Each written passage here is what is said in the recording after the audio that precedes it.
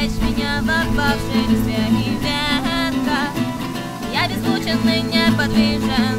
Я не заметен Я замедляю дыхание И вот тихий сон Улыбаюсь на теле моем